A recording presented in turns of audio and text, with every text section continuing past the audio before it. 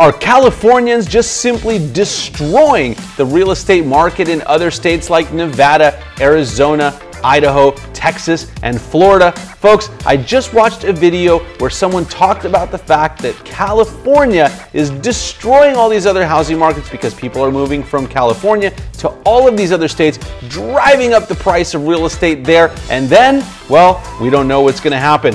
So it's a great video. I'm going to talk about it in just a second. It makes a lot of good points, but, and here's the big but, there are three main things that that video does not address, and I'm going to talk about them here. So if you live in California, you're thinking of going somewhere else, or if you live in one of these other states where those pesky Californians are coming in and ruining your state and driving up the real estate prices, then you are going to want to watch this video all the way until the end. And by the way, if you're a buyer and you're looking to move and buy a house in one of these other areas, then you're going to want to make sure to check out this video. Let's go.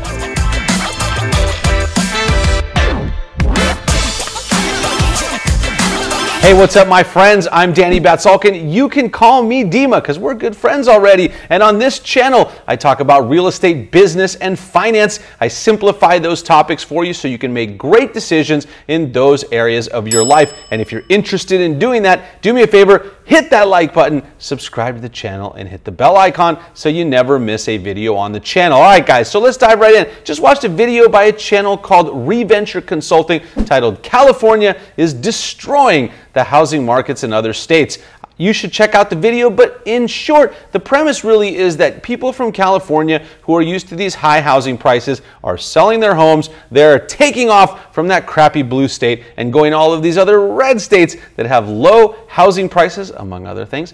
And so what they're doing is driving up the housing prices in those other areas. Video also talks about the fact that Californians are inherently bad real estate investors and so they overpay, they pay all cash, they drive up these home prices, and then the people that are in these other places really are in a challenge because they get priced out of the market. And then once the cycle continues, what happens is that people then move back to California. Now, it was a great video because it had a lot of really cool charts and graphs like I like to do as well, talking about the fact that this is cyclical in nature, that this also happened between 2001 and 2006 when California became unaffordable, people left, they went and bought houses over there in places like Vegas and Phoenix and Dallas and Austin and stuff like that. And then when the housing prices in California came back down, those same people moved back to California.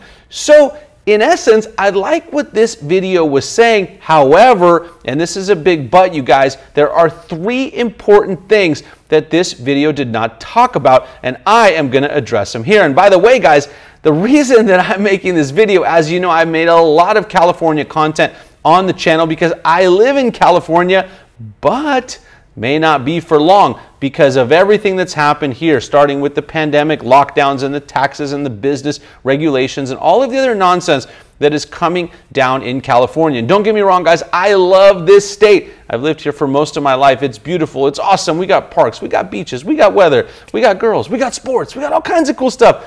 But unfortunately, the progressive policies of the last 20 plus years have absolutely ruined this state. And that is why we are seeing such a mass exodus of people leaving the state and going to all these other places that this other video talked about. So let's dive right in, guys. Let me give you the three reasons or the three things that were not addressed on this video that I think are extremely important. All right, you guys. So number one is the pandemic.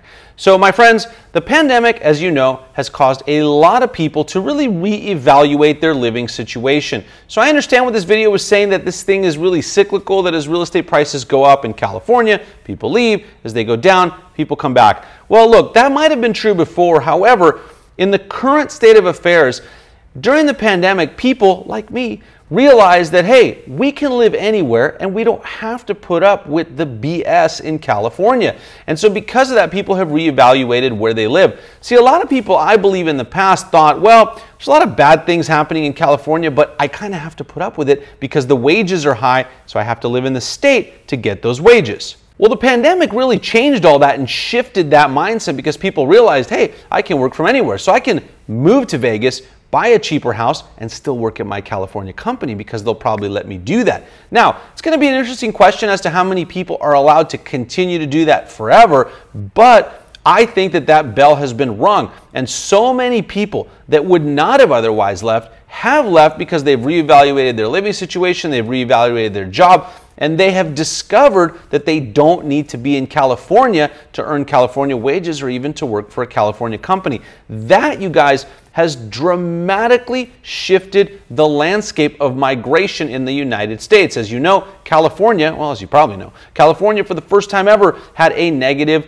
increase, or that should be a decrease. A negative increase would be a decrease. Had a decrease in population last year, and I believe that when this year's numbers come out, that's just going to get even worse because people are leaving here in droves for that one reason. The number two thing that wasn't talked about on that video that is extremely important to know of why this cycle is going to be different, in my opinion, is that this time companies and businesses are fleeing the Golden State in record numbers. That is because California has the highest taxes, the most regulations, it's burdensome, it's the least business friendly state, or the most unfriendly state, if I say that in the opposite, in the United States to do business in. Companies have simply figured that out. And like I said before, companies used to think, hey, I got to be in California because this is where the talent is. I need to recruit. I got to be in, in California to do all these things. That's just simply not the case anymore. And so companies are now fleeing to places like Arizona, Florida, Nevada, Texas, those states that are attracting those people and welcoming them with open arms.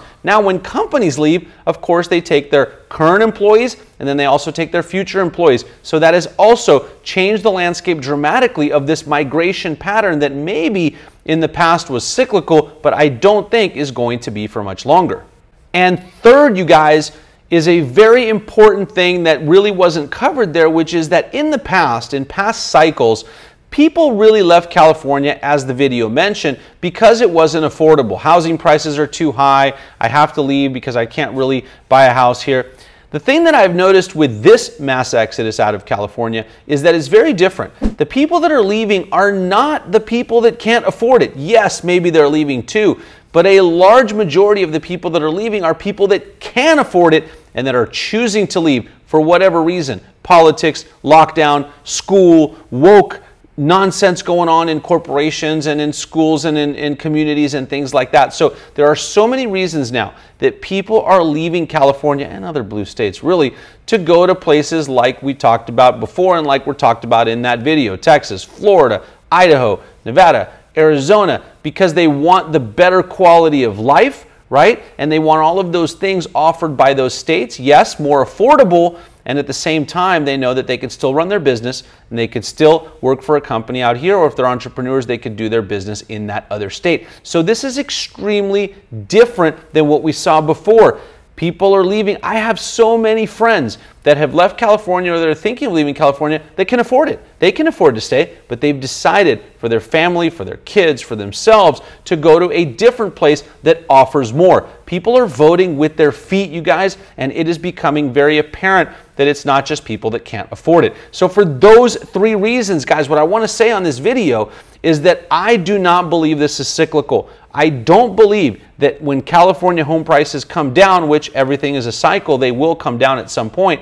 I do not believe that that same group of people is going to come back to California because they're going to realize that they love those other states. They love the quality of life, they love the low regulation, the low tax, the fact that the government doesn't want to try to regulate and control everything. And I don't believe that those people are going to come back. And I believe, I'm going to pull out my crystal ball and tell you that I believe that the population of California will continue to decrease unless things change in California. And of course, what can change in California is the types of policies and the types of elected officials that we have in the state. That, of course, maybe starts with the recall election, which Gavin Newsom has actually changed the rules on to his benefit. He now wants to have it sooner. He originally wanted to have it later. Now he wants to have it sooner. So if you live in California and you're a California resident, make sure you vote in that election and vote to get rid of Newsom who doesn't really care about Californians? And if you've already left California, let me know in the comments below. Would you consider coming back if the housing prices went down? And wherever you live, throw a comment down below and let me know what you think. You know, one of my favorite things about the YouTube channel is really interacting with you in the comments and chatting with you, and that's really what I love to do on the channel. But anyway, thank you guys for tuning in today to another video. If you haven't yet, hit that like button, subscribe to the channel, hit the bell notification. Check out these other two videos that I think you'll really like on the same topic, and I will see you on the next video. Oh, wait, follow me on social media. If you don't follow me on Instagram yet, I post almost every day. Go check out what I'm up to. Twitter, all the social channels, whatever you're into, I'll see you over there. You can even text me to join my private and exclusive text community. Okay, now I can say it. I'll see you on the next video.